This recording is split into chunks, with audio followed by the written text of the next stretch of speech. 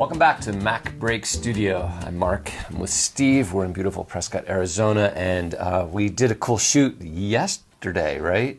Yeah, we did a great shot with Yeah. our new Karma drone. Yeah, and Steve. So Steve's going to share that and do a do a little effect on it. A little effect on it. All yeah. right. All right, take a look. So this was a shot from the newly acquired Karma drone of us sitting on a pier on this placid lake in northern Arizona. And as you can see, it's a really, really nice shot. I'm to just play a little bit of it. It's just beautiful. So happy with that drone. It's just so easy to use. And I thought, you know, this is a great shot to turn into that miniature tilt shift effect where um, where the the subject looks miniature. Okay? Yes, yes. And so uh, I'm going to go ahead and do that with this shot. So I'm going to move the playhead right about here, and I'll uh, open the effects browser and go into the blur category, and I'll go ahead and throw on a Gaussian blur. So you see everything's blurred out. Yep. All right.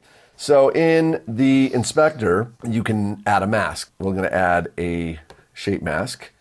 And the key here is to turn this into a square shape. I'm not so much worried about the feathering right now, but I want to get a giant rectangle that I can essentially place over us sitting on the pier. And of course, the mask needs to be Kind of the inverted. opposite of what you want, right. right? So back in the inspector, I'll go back up to the mask button. I'll just boom, invert masks.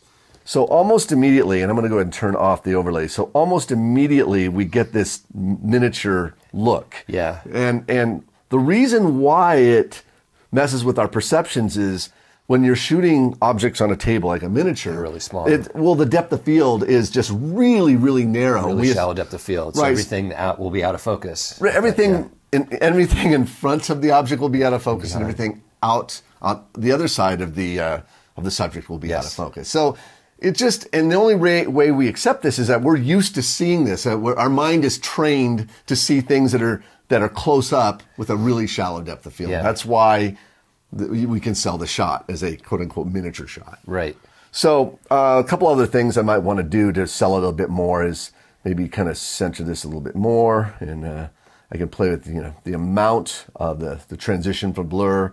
But the one last thing I would do to sell this miniature shot is press Command Six to open up the color board, and then go into the saturation pane and crank up the saturation, just boost it up because typically when you're shooting toys and miniature things, they tip- typically have like a Little like models are painted. Little, yeah, they're like painted, so they look like hyper sat- highly saturated. So um, let's quickly look at a before and after. So there's the shot without the mask. There it is with the mask, and it just it it makes us look like we're on this little. So if you play through it, yeah, play through it, and then, it's yeah. like a little set. It's a little, it's a little set, and there's a little tiny Mark and Steve sitting on a pier doing a MacBreak Studio episode. so, Very the- nice. so there you have it. Simple. Use a mask and do a tilt shift effect. And quick and easy. Quick and easy, yeah. All right, great, excellent. So Ripple Training for uh, more of all this good stuff. Follow us on the YouTube channel. Subscribe to the YouTube channel, and you'll get this information sent directly to you every week. We'll see you next week on MacBreak Studio.